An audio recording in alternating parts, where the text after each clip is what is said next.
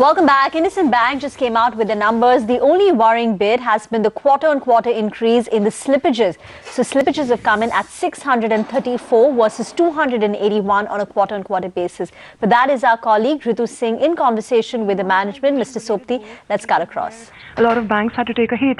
Is that behind and is recovery well underway? Yeah, as I said in the press conference, I think it is now time to see the impact of remonetization. So demonetization uh, had, I think, some beneficial impacts as well, uh, which I've highlighted, which is essentially the, the surge of liquidity, low-cost liquidity that came in. Certainly that has benefited us, and some of it has stayed.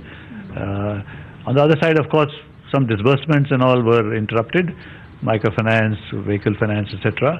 But I think we are picking up uh, pretty rapidly. So I would say that uh, quarter one, we should start looking more as the remonetization uh, impact than the demonetization impact.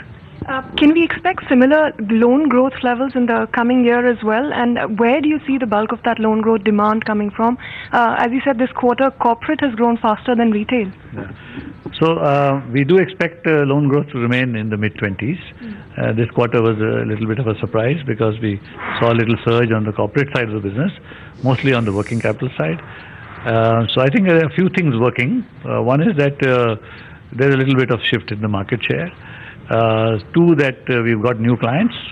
Three, we are deepening existing relationships, and there's part of the market share. And fourth, I think our competitiveness on pricing mm. is certainly playing out now. Mm. Uh, the fact that we have MCLR and we have uh, short tenor uh, repriced at a different rate uh, for longer tenors, which was not the case in the base rate regime, I think that disadvantage has gone away. All these are sort of contributing to the mid 20s growth in the loan book. Um, sir, you said microfinance is a space that really excites you right now. Uh, what is the current uh, portfolio you have, and what is the target from here on, and how do you plan to achieve it? See, microfinance is a, is a space that interests us, and it has interested us for a long, long time.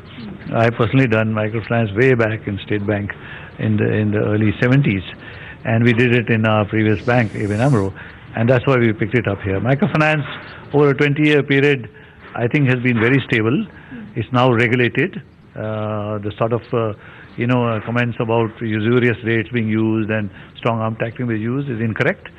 Mm. therefore, I think there's stability and they create livelihoods. Mm. And we have just touched the tip of the iceberg. So a lot more has to happen on microfinance.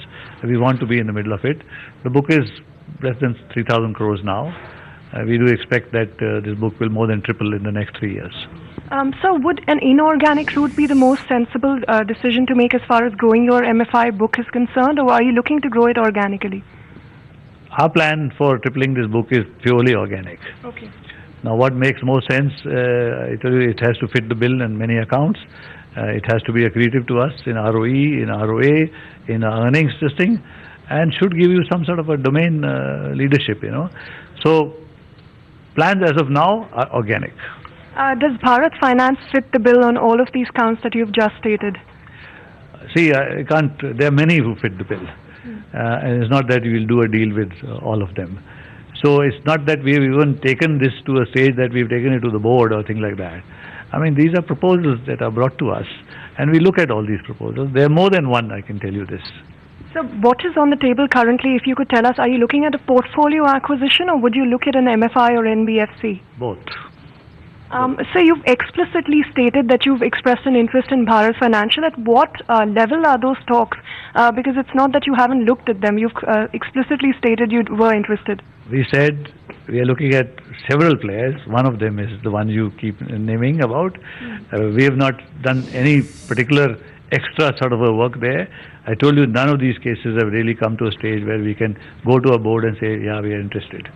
Um, so, but since you have expressed an interest, at what stage are those negotiations, if at all, if you could share with us?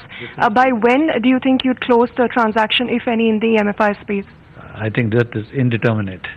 Uh, there are at many different stages. So you can't really say this is at this stage, that stage. Um, so, but uh, is valuation a concern at some of these MFIs that you're looking at? Is, is that what is uh, coming as a hindrance? No, no, valuation will always be a concern. Whenever you do an acquisition, whether it's any sector that you do, mm. valuation will always be, uh, it has to be right valued.